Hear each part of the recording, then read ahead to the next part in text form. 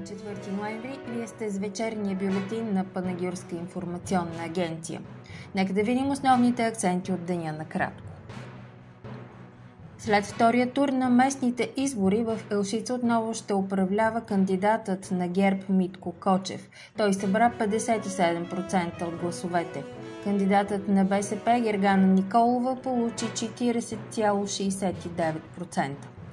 В Попици също ще управлява стария кмет Стоянка Ставрева, която за разлика от предишните избори, когато кандидатурата й бе издигната от ГЕРБ, на сегашните се включи в изборната битка като кандидат на ДПС. За нея на втория тур гласуваха 391 души или 54,53%. Кандидатът на БСП Кръстю Кръстев събра 315 гласа или 43,93%. Съседна стрелча изборната битка за кметското място приключи след втория тур с победа за досегашния кмет Стойно Чачов, който успя да събере 102 гласа повече от независимия кандидат Георги Павлов.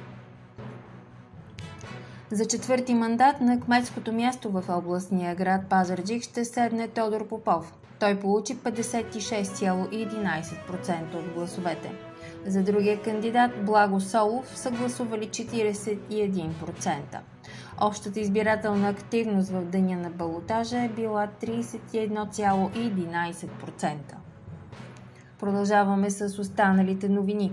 Авария на водопровода бе причина днес в жилищен комплекс Оптико Електрон да има проблеми с водоснабдяването.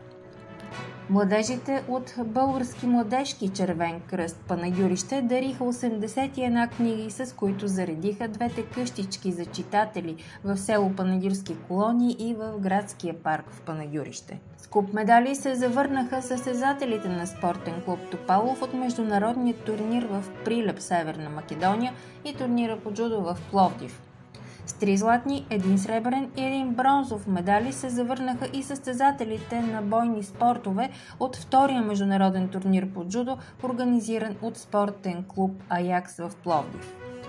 Това беше по-важното от 4 ноември, уважаеми дами и господа. Екипът на Панагюрска информационна агенция се разделя с вас с пожеланието за спокойна вечер.